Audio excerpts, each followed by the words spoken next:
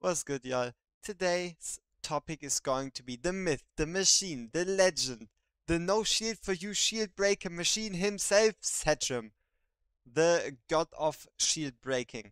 So, for Setram, we're going to go over his skills, over his talent, what skills to max when, and when to fully max out. And then I'm going to again going to bring you a mid game, late game, end game build, and follow it up by explaining an example of using Setram and Voidrift. Because Setram is fucking amazing for Voidrift. But more to that later. Let's get into his build. So for the talent, each attack launched has a 20% chance to unleash fists, smashing the target and dealing 140% damage, inflicting the target with stun. So he's getting a debuff, he's getting some sort of crowd control, and the fewer the targets in range, the higher the extra damage dealt up to 20%. So if there's only one target in range, he's going to be able to deal 140% extra damage, adding in an extra stun, which is obviously quite nice, but honestly at a 20% chance, it's nothing you can rely on. It's pretty much a bonus, right? Our slow attacking boy is pretty much getting a bonus. And what do I even mean with slow attacking boy?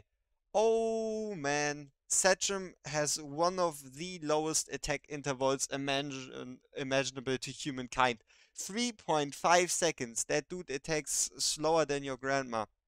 So, let's get back into the skills though.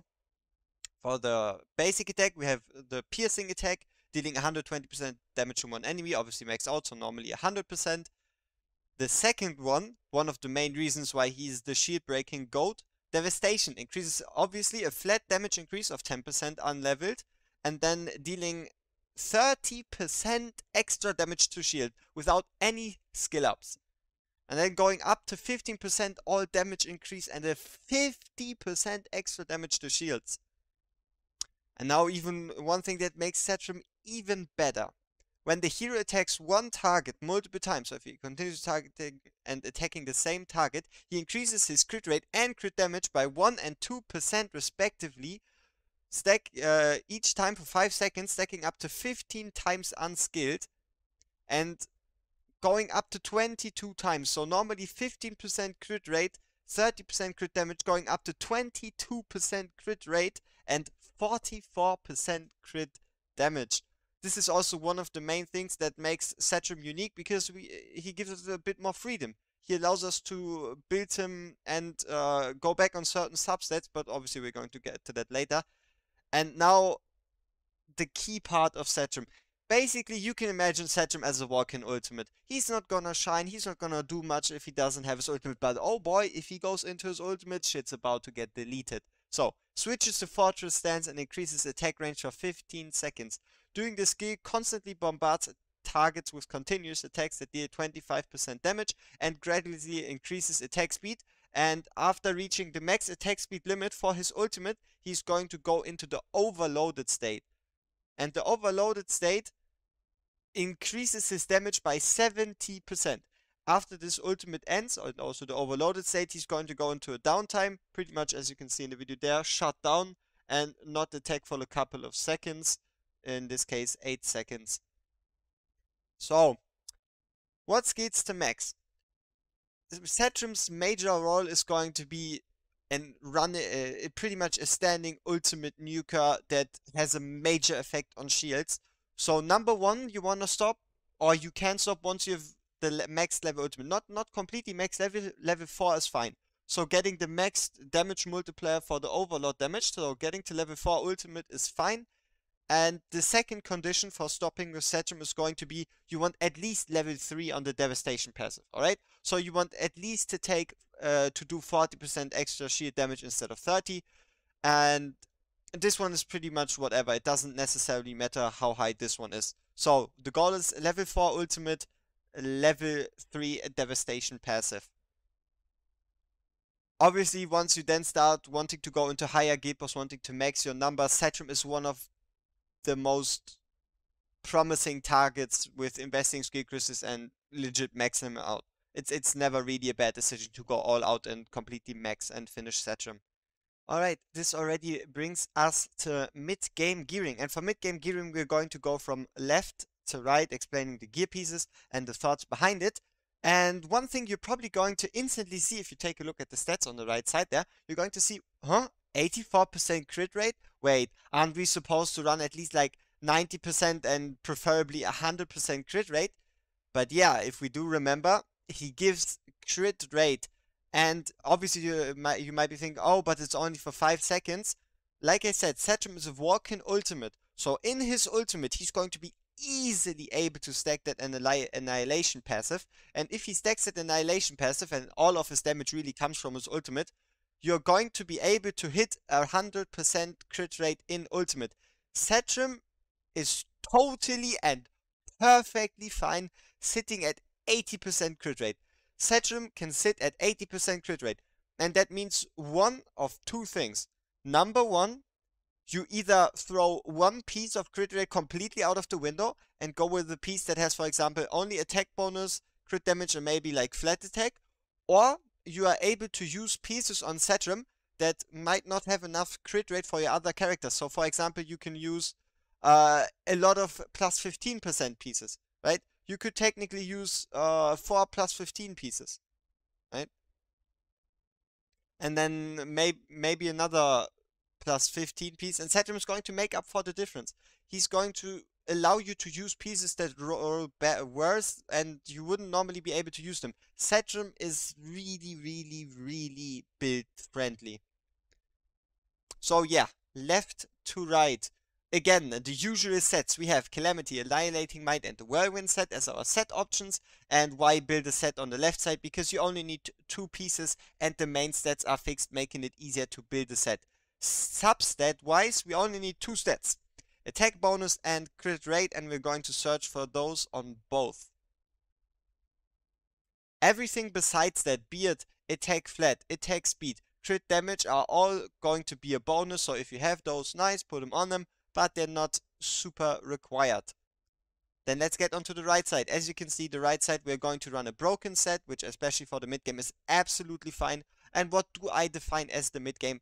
The mid game pretty much refers to gear rates up to 18 easily up to 18. You're going to be able to deal with anything up to stage 18, so clearing stage 18, running broken sets. You don't need sets to go to the 18s of gear 8s. So for the right side, we're going to run a main stack attack percent. And there's only one important set you need to look out for a main stack attack percent, and it's going to be crit rate. So attack percent in the top, crit rate at the bottom, and this time three times attack percent. And you might be asking yourself, ooh, couldn't we maybe already tried to introduce some crit damage. Again, Setram's passive already gives you some extra crit damage, which makes sense to then go further into the attack, again based on the damage formula, that higher attack means higher base damage, so, uh, so the multipliers have a bigger impact, yada yada yada. And yeah, we're going to run a triple attack percent and substat wise again. If you can somehow manage it, rage reading, attack speed, attack flat, crit damage. All those are going to have a good impact on his build, but one interesting thing with Setram 2 is Setram would be, especially early on, mid-game, even into the late game, totally fine running zero, yes, zero attack speed because his ultimate increases his own attack speed. His ultimate allows him to build up attack speed himself, right? Setram is so easy. You can build him with 80% crit and 0% attack speed, right? You don't you don't really need to worry about stats. You can just give him crit damage, give him attack, give him 80% crit, and you're done. You're donesies, right? And this concludes at least the gearing perspective, and let's get into the most interesting part again, which is obviously going to be artifacts. And for artifacts, we obviously have the usual suspect, right? Ancestral teachings, as on every other hero, if you have another ancestral teachings copy besides your Dolores, put it on Setram, it's going to put in the work. Furthermore, we have Edred's Gaze. Edred's Gaze works on Setram, though if you do decide to equip an Edred's Gaze on your Setram, what you do want to do is get rid of one attack percent piece, because again, based on the damage formula, you're going to ignore more defense, allowing you to go less in attack, and for that one we would then search for, oh, where's it? This piece, right? Keep in mind crit damage. For a crit damage piece, you need three. Uh, you need two subsets instead of one. It needs to have crit damage in the main stat, crit rate in the substat, and attack bonus in the subset. So you do need two substats compared to one substat if you would be running the attack percent main stat version. And this would be the build uh, if you would be considering running an Idris Gaze. And besides Idris Gaze, we have a couple more options, which is going to be Watchguard's Ambition for Gear 8 3, so 10% uh, increased damage to flying units, and Taunting Gaze, which is pretty much alright. Again, I'm going to rank them somewhere over here. And now you might ask yourself, hmm, if Ancestral Teachings works, why aren't we going to use like some of the more usual legendary artifacts or marksmen? So going to be Broken Nightmare and uh, Shadow Gaze. Broken Nightmare and Shadow Gaze. Why not Broken Nightmare and Shadow Gaze? This again refers to him having abysmal, abysmal attack speed. Setram has abysmal attack speed, which would also translate into an abysmal uptime besides his ultimate. So they, they can't really compare to uh, Ancestral Teaching because Ancestral Teaching is just going to be active anyway, and it would only really uh, be active in his ultimate. Which is why you can just cross out Broken Nightmare and Shadow Gaze. Alright, this concludes the mid-game. This already brings us to late game Setram and we are going to do the usual left to right. So for the left side is going to stay with the usual candidates. Calamity, Whirlwind Annihilating Might. Obviously if you do have a Warlord set, use the you can use a Warlord set instead of Calamity. And we have the same substats. It's going to be attack bonus, crit rate, and attack bonus crit rate obviously any if you can find anything past that it's going to be beneficial but those are around the minimum requirements and for the right side this time we are going to go with a different split. So crit damage, attack bonus, attack bonus. And one of the main reasons for that is going to be Setram's incredibly high base attack compared to other marksmen. He has around, you could say, basically a thousand attack more base compared to any other marksman, really. Which allows him to, obviously based on the damage formula, yada yada, overcome the enemy defense more easily, allowing us to go less and lower in attack and higher in crit damage, which is the reason why you're going to see a 1 to 2 split. So 1 crit damage piece and 2 attack bonus pieces. You might be asking yourself, oh, but why aren't we running 2 crit damage pieces? Because Setram himself doesn't really have a lot of sources of penetration and we are already getting overfilled on crit damage through his annihilating passive and it would just be diminishing returns if we would go higher in crit damage past that point really. So the most important part now obviously is again going to be sets. At the top we have the Night Terror set. Important to know for the Night Terror set you do need at least 55 attack speed because if your Setram doesn't have at least 55 attack speed he's not going to get past the 3.5 second interval and get that one below 3 seconds because as you can see it obviously only increases the damage for 3 seconds after making a crit hit, so your Setram needs to attack faster than every 3 seconds. The next set is going to be the Doom set, after that we have the Fatali Fatality set, the Fracture set, the Fracture set obviously being uh, uh, the same reason for why we're not going to run uh, two crit damage main sets is oversaturating the crit, but it's still not bad enough if you can at least make a set out of it. And for the last ones, we have the Wisdom and Glacier set. Wisdom obviously only functioning for 10 seconds out of 15 seconds for his ult and the last seconds of Setram's ultimate being the most important. So Wisdom isn't really going to work with Setram. And then we have the Glacier set. Setram has alright-ish base HP at 12,000. So if you find a couple of HP sets you can make it work but it's not going to compare to Night Terror, Doom set or even the Fatality set allowing Setram to penetrate even more defense which already brings us to substats. Substat wise, we again already talked about the split, so wise is going to be the same requirements, but you still want to start implementing substats, and for those subsets, attack speed can take a lesser of a position, and you do want to see something along the lines of flat attack or preferably rage regen because Setram is really slow in generating rage. So a rage regen sub would be fine, and obviously if you have it, give him some attack speed. For late game artifacts, we have Ancestral Teachings, Nether Messenger, Blood Bond Signet, Idris Gaze, and Soul Reaper's Insignia. And rank, I'm obviously again going to rank them for you. And reason for Idrit's Gaze ranking so low is mainly going to be the fact that Setram's base set's already that good, right? We already talked about it, and he doesn't really benefit from it. One of the main reasons why Idrit's Gaze is so good on an Idril is because an Idril only sports 3000 base attack, while a Setram, even without awakenings, has 4700 base attack. Alright, this concludes. This brings us to endgame Setram. And before we talk about endgame Setram, look at this BP. Setram is a BP monster. Setram eats BP for breakfast. Setram was born with a hundred thousand BP. And the most important part about getting a high BP Setram isn't actually going to be his gear and not super necessarily his artifact, but his skill ups. A fully skilled up Setram has ridiculously high BP. So, now let's obviously get into the build. We're going to go from left to right.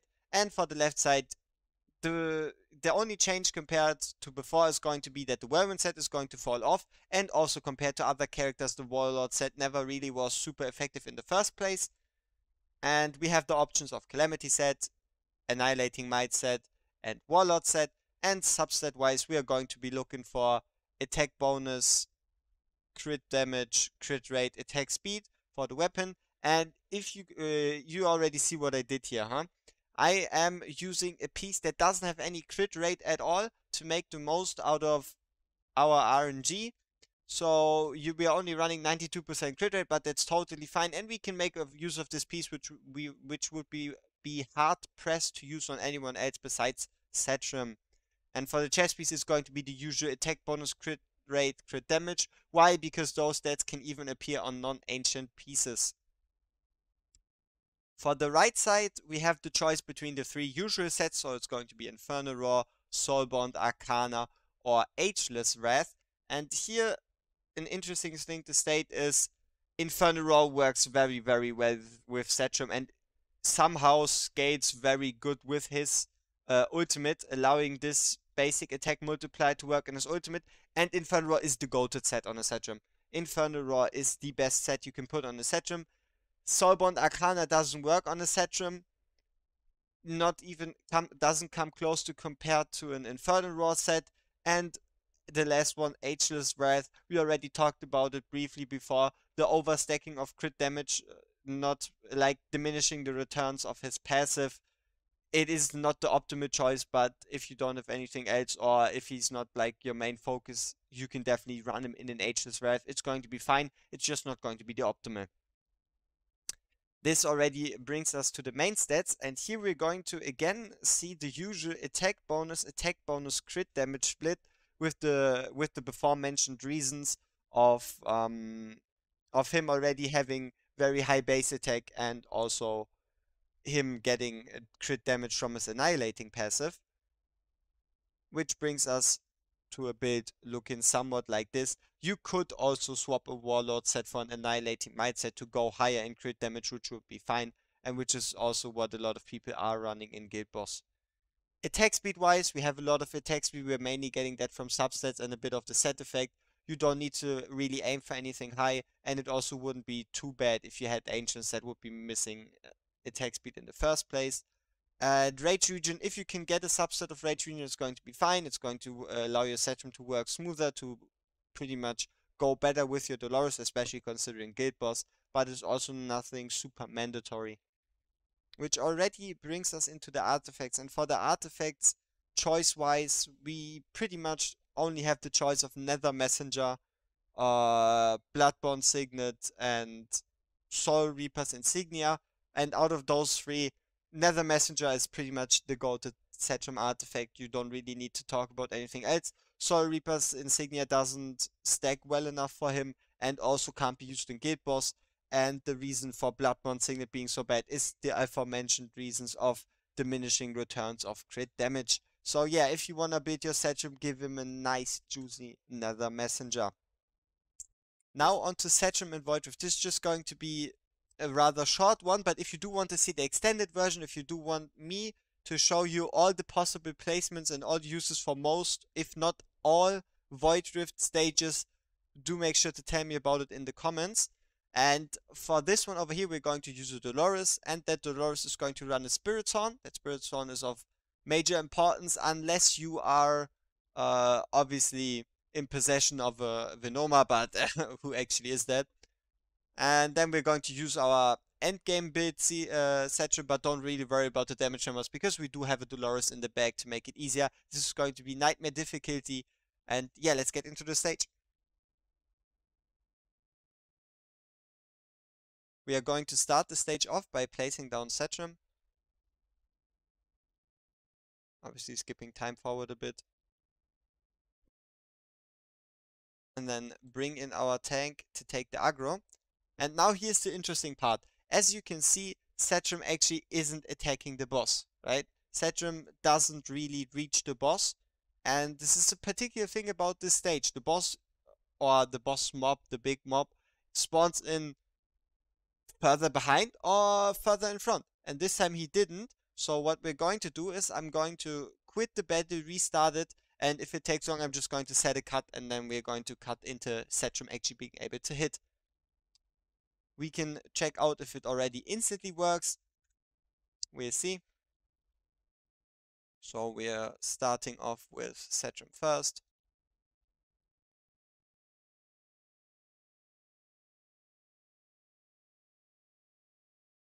Oleg. Perfect. So as you can see this time, even though Setchum's position didn't change, the boss spawned a bit further and you can slightly see it here, his feet actually reach into Setchum's range. So yeah, Setchum this time is actually able to hit the boss. And what we're going to do now is we're going to start counting the rocks. And that's going to be to find the perfect moment to place Dolores. So that was rock number one, rock number two, this is rock number three. And as soon as we can see the PNG of the fourth rock, that's when we can already place on Dolores and simultaneously start up Setchum's ultimate. So yeah, Setchum's going to focus on those minions a bit, but that's not of major importance. And here we can then also activate Dolores and completely annihilate this rock thrower, eliminating the need to worry too much about those uh, thrown stone rocks. And uh, a simple example is you could also then use Setchum on the bottom lane to take care of this big dude over here. And this trick also works for those uh, stone throwers in Araka boss fight for this phase 1. Again, if you want to see an extended version, do make sure to tell me in the comments. And that's it from this guide.